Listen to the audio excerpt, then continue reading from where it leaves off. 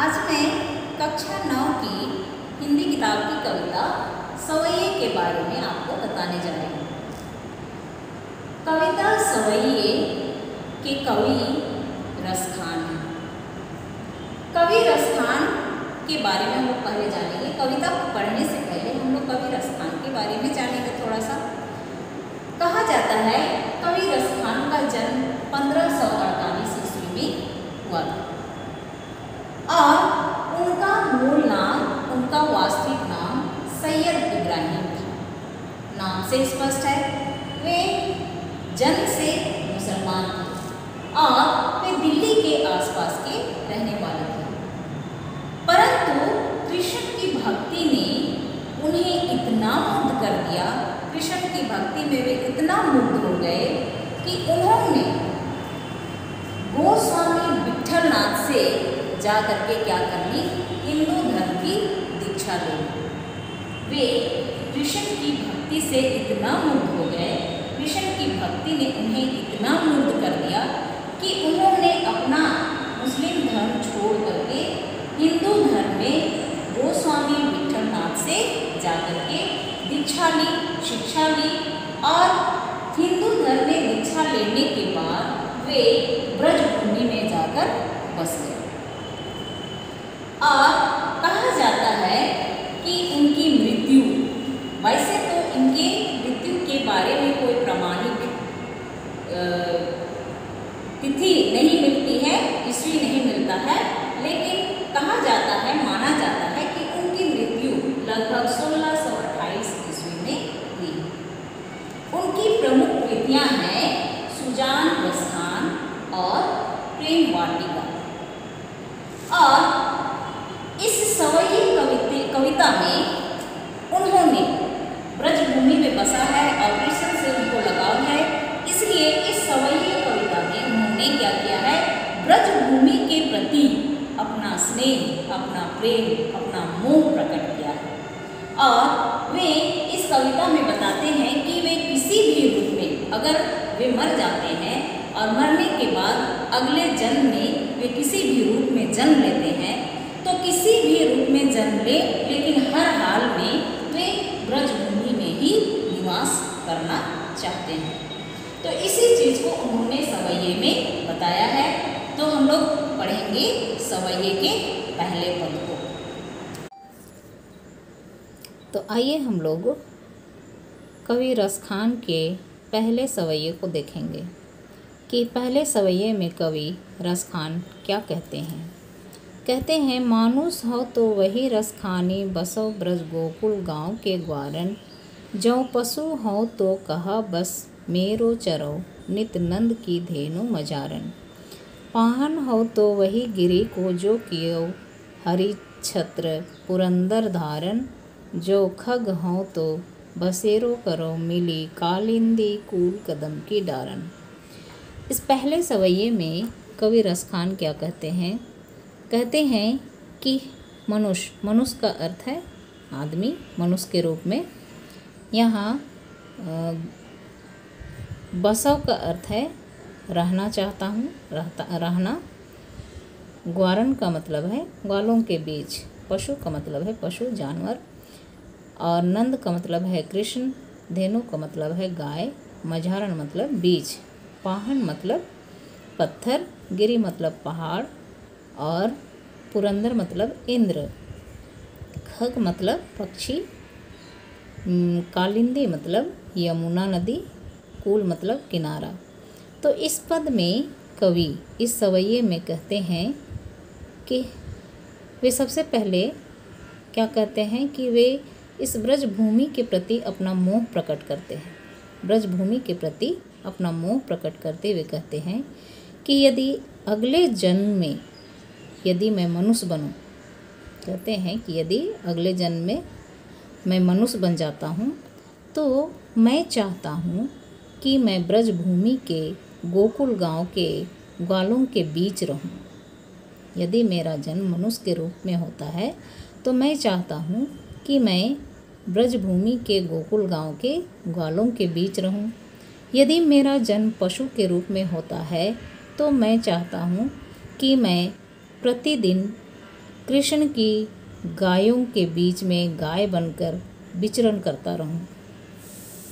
और कहते हैं कि यदि मैं पत्थर बन जाता हूँ, यदि अगले जन्म में मैं पत्थर बन जाता हूँ तो मैं चाहता हूँ कि मैं उसी गोवर्धन पर्वत का अंग बनूं, उसी गोवर्धन पर्वत का हिस्सा बनूं, जिसे श्री कृष्ण ने अपने अंगुली पर इंद्र के क्रोध से बचने के लिए धारण किया था।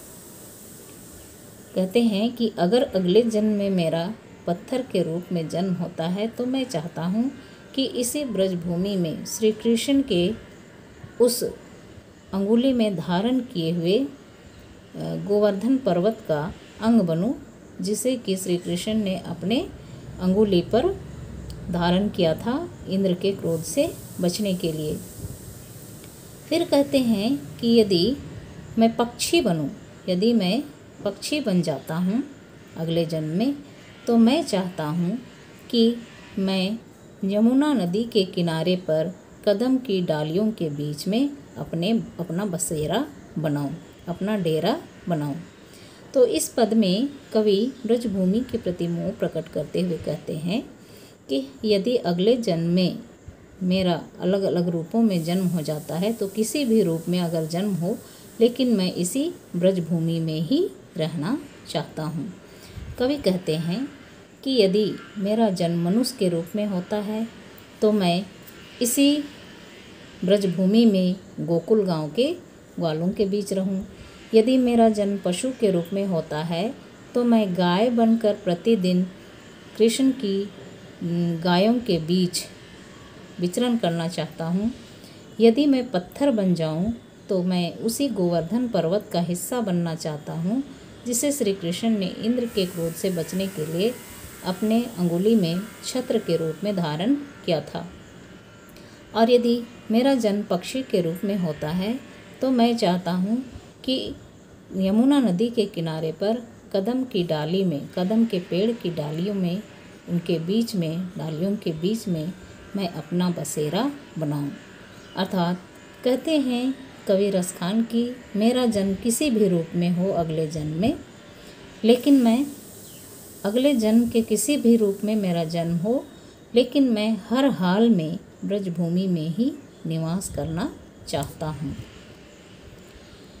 फिर दूसरे सवैये में कवि कहते हैं, या लकुटे अरु कमरिया, पर राज तिहूँ पुर को तजी डारों आठों सिद्धि नवों निधि के सुख, नंद की गाय चराई विसारों रसखान कबों इन अखियन सौ, ब्रज के बन बाग तडाग निहारों कोटिक एकल धौत के धाम करील के कुंज ऊपर मारों इस दूसरे पद में या दूसरे सवैये में कवि रसखान कहते हैं कि, मैं श्री कृष्ण की लाठी, लकुटी मतलब लाठी, कमरिया मतलब कंबल, मैं श्री कृष्ण की लाठी और कंबल के बदले में तीनों लोगों तिहुपुर, तीन लोग तीनों लोगों के राज्य को त्याग दूँगा।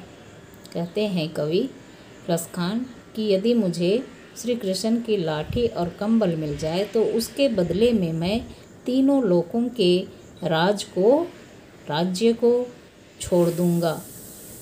फिर कहते, आठों सिद्धि नवों निधि के सुख नंद की गाय चराई विसारों। फिर कहते हैं कवि कि यदि मुझे नंद की गायों को चराने का अवसर मिले तो नंद की गायों को चराने के बदले में मैं संसार की आठों सिद्धियों और कुबेर की नौ निधियों के सुख को भी छोड़ दूँगा। फिर कहते हैं कवि कि जब से मैंने रसखान कबों इन अखियन सौ ब्रज के बन बाग तडाग निहारो।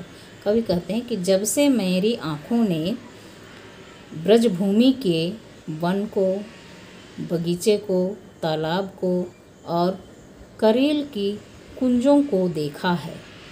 कवि कहते हैं रसखान कि जब से मेरी आँखों ने ब्रजभूमि के वन को, बगीचे को, तालाब को और करील के घने कुंजों को देखा है, तब से मेरा मन होता है कि मैं करोड़ों सुनहरे महलों के सुख को भी न्यौछावर कर दूँगा।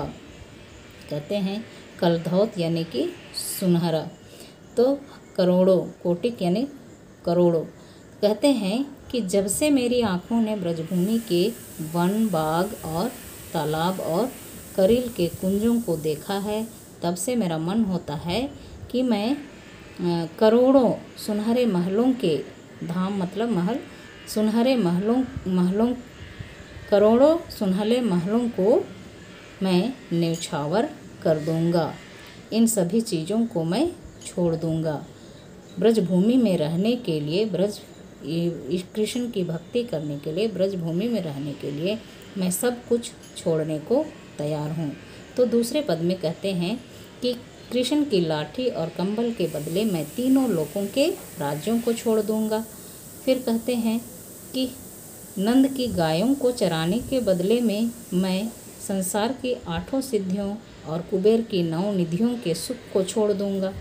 फिर कहते हैं कवि कि जब से मेरी आँखों ने ब्रजभूमि के इन बाग बगीचे और तालाब और करेल बाँस के कुंजों को देखा है, झुंडों को देखा है, तब से मेरा मन होता है कि मैं हज़ारों करोड़ों, मैं करोड़ों सुनहरे महलों को भी त्याग दूँगा।